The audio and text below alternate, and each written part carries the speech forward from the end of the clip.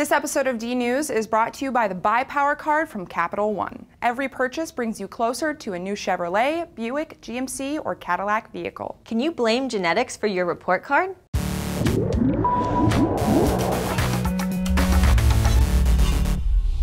Hi everyone, Crystal here with D News. Were you born to be good at school?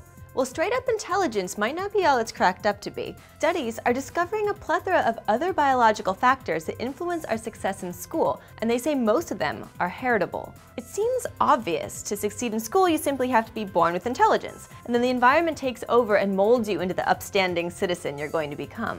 But scientists at King's College in London are saying that's not entirely true, and other genetic factors may be more important than we first thought. In a paper recently published in the Proceedings of the National Academy of Sciences, researchers made a controversial assertion that our performance on standard assessment tests is determined by our DNA.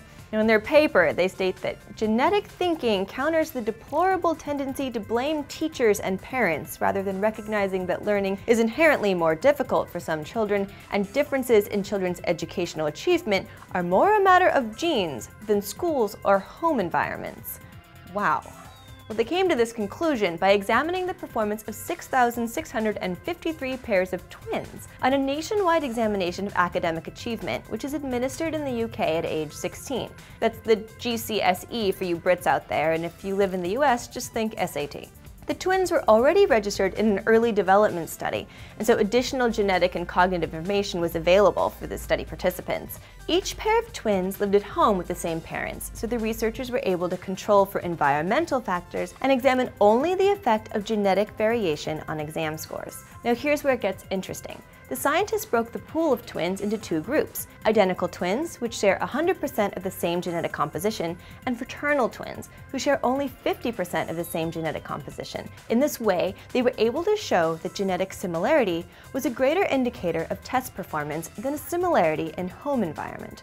The study looked at the twins' intelligence scores, but also confidence, personality, self and parent reported behavioral problems, and more. And they say that what on the surface seems like environmental influence, like behavioral problems, can actually be linked to causal genetic traits like attention and extroversion or introversion. Furthermore, they assert that education is not a passive process and children actively choose what experiences they're exposed to.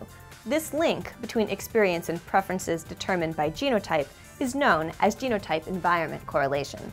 Obviously, there's a lot that needs to get unpacked here, but the study introduces a really great nature versus nurture issue. The authors clearly argue that nature, genetic factors, are more powerful and important than nurture or environmental factors. Personally, I think that genetics gives us a baseline, but it doesn't dictate how far we can go.